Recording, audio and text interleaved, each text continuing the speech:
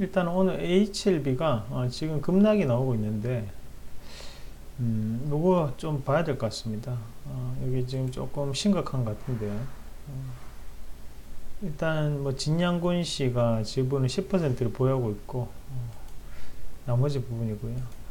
실질적으로 이제 이 HLB 같은 경우에는 어, 우리가 이제 임상 관련을 떠나서 어, 이번 시간에 그냥 차트로만 그냥 좀 말씀을 드릴게요. 차트로만 차트로 세력을 추종하는 겁니다. 어, 거기에 대해서 조금은 이견이 있을 수도 있고 다른 의견이 있을 수 있지만 이거는 제가 보는 관점에서 어, 제시를 해 드리는 거라고 보시면 돼요.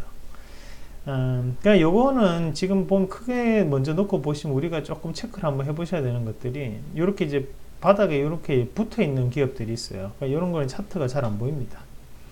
어, 이렇게 이제 차트가 잘 안 보일 때는 우리가 요거를 지우면 돼요.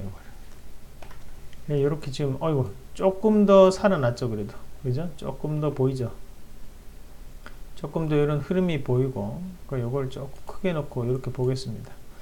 어, 보면 일단은 감자가 보이고 감자. 감자. 액면 분할 감자. 뭐 여기도 감자가 있죠. 감자. 감자. 그죠? 감자는 좋은 거에 나쁜 거예요? 감자가 좋은 건 없죠 감자 여기 또 있죠 감자 많은 감자들을 해요 감자들을 하고 이제 차트가 움직이는데 어, 사실 이제 우리가 여기에서 봐야 되는 것이 감자는 말 그대로 자본금을 감한다예요. 자본금을 감한다. 왜 자본금을 왜 감할까요? 자본금을 강하면 감 감소시키면 어, 이제 우리가 흔히 하는 자본 잠식에서 벗어날 수 있습니다. 음. 어, 우리가 이 요거는 차트를 조금 안에 내용을 좀 봐야 되는데 어, 여기에 보시면 자본 총계가 있어 자본 총계 자본 총계 어, 그 자본금이 있죠 음.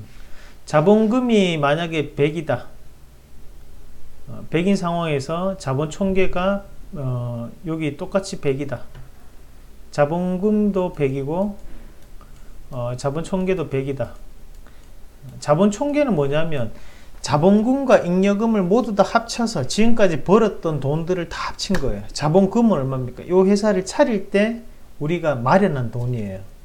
그러면 지금 자본금이 100인데 자본 총계가 100이라는 것은 우리가 지금까지 회사를 운영하면서 번 돈은 한 개도 없고 자본금만 남아 있는 거예요. 근데 이 자본금이 100에서 90으로 떨어졌어요. 그 자본금은 100입니다. 그러면 이게 뭐라고 합니까?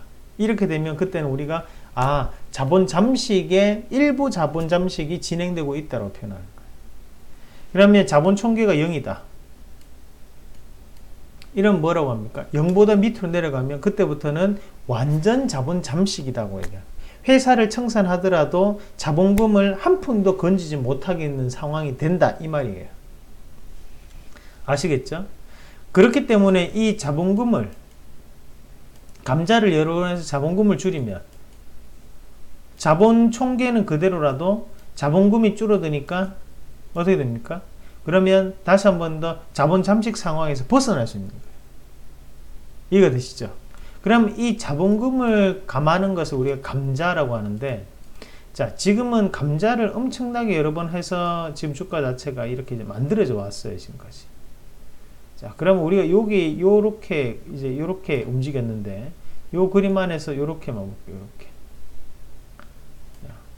어때요?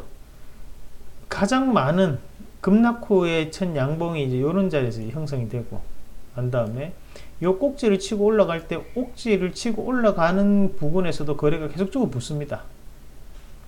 자, 그러고 난 다음에 여기서 이제 눌림목이 들어가는데 요걸 주봉으로 조금 바꿔서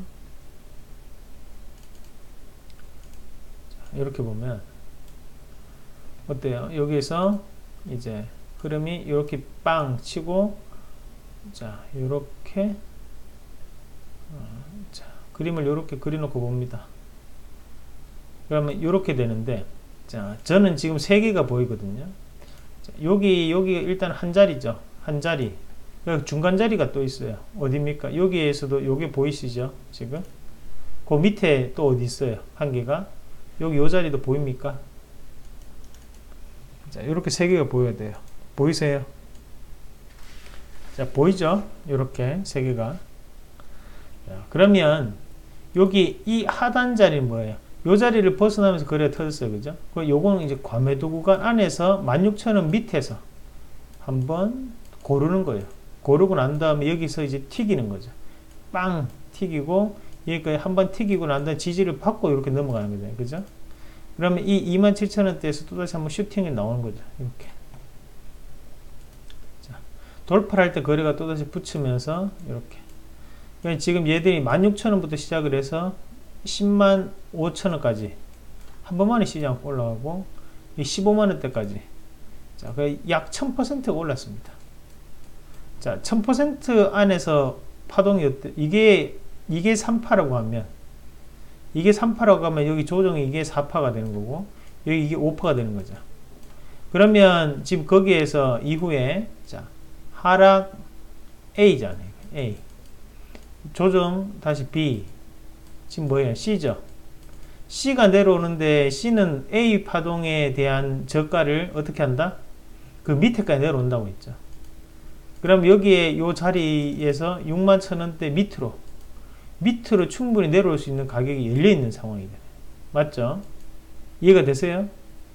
이게 A, B, C잖아요, 지금. 이 정도 각은 한 가지 파동으로 봐줘야. 그러니까 지금 그 밑에 그 밑에 해당하는 자리가 얼마였습니까? 여기, 여기 밑으로는 당연히 내려오겠고, 그럼 그 밑에서 한번 자리를 벗어난 자리가 27,000원이었죠. 여기서 빵 쳐서 올렸는데, 앞에 지지가 좀 나온 자리 치면, 자, 요런 자리까지 내려온다는 거죠.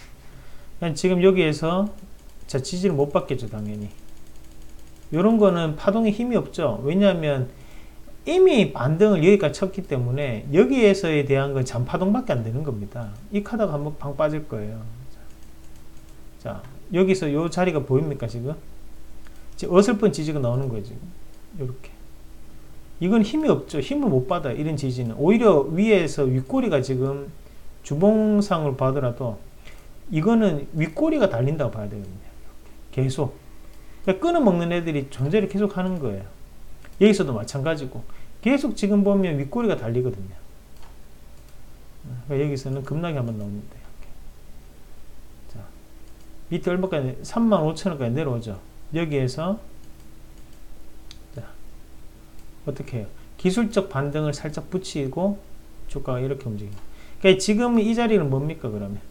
지금 요 자리 지금 제가 여기 끄 미리 여기 끄어놨던 앞에 거를 보면서 끊어놨던 이런 자리에서 얘네들이 어떻게 한다? 지지와 저항을 움직이면서 여기서 이제 어, 한번 자리를 잡아보는 겁니다. 자리를 여기서 다시 잡아가지고 다시 한 번 더 만들어 볼 거예요, 그림을. 네. 이 부분에서 지금 그림을 만드는 과정이라고 봐야 돼요. 거기서 제가 볼 때는 한 22,000원 자리가 공략이 가능한 자리고, 요 22,000원 밑으로는 조금은 다시 한번 더 반등 파동을 한번 일으킬 수 있는 자리다. 예, 그렇게 보는 게 맞죠. 그래서 이미 이미 여기서 한번 이렇게 크게 올랐기 때문에 주가가 또다시 이렇게 크게 오르는 것은 사실상 힘들어요. 저는 그건 확률이 대단히 떨어진다 보고 다만 여기에서 다시 한 번 더 숨을 고르고 난 다음에 이게 여기서 횡보가 엄청 오래 걸리거든요. 최소 그래도 세 달 이상은 걸릴 거예요. 그러고 난 다음에 이제 시세를 올리더라도 그러면 상단에 있던 요런 자리 보이시죠? 45,000원 자리. 요런 자리 정도까지는 한번 이렇게 이제 이런 식으로 한번 만들어 보진 않을까 지금까지 빠졌는데 보여 계시는 분들 같은 경우에 사실 여기서는 손절은 큰 의미가 없는 거죠. 네. 만약에 신규적인 지역 접근을 한다면 차라리 저는 22,000원 밑으로 네.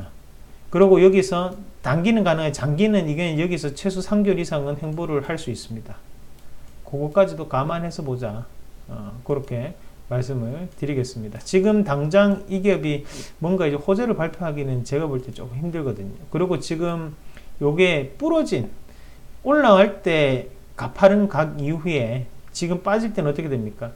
어, 요런 식으로 빠지거든요. 요런 식으로 빠지는 것이 제일 안 좋습니다, 사실. 그러니까 위에서 고가 놀이를 하면서 빠지는 거잖아요.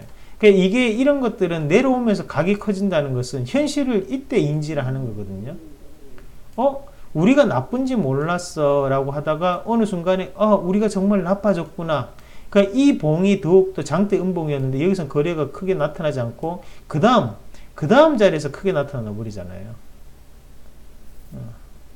그러니까 결국에는 여기에서는 투매가 같이 묶여 있다라고 봐야 되거든요. 그럼 이 투매를 극복할 수 있는 거래량을 또다시 한 번 더 튀겨줘야 되는데 거기 그렇게 튀겨주기가 힘들 것이다. 그래서 저는 최소 3개월 이상이고 가격은 22,000원 밑으로 차라리 밑에 자리를 공략을 하는 게 맞다. 음, 그렇게 말씀을 드리도록 하겠습니다. 자, 좋은 뉴스가 있을 수 있죠. 하지만 공략을 하는 것은 아니다. 어, 자, 그렇게 저의 관점에서 정리를 한번 해봤습니다. 요즘 제약바이오가 전반적으로 좀 어렵습니다.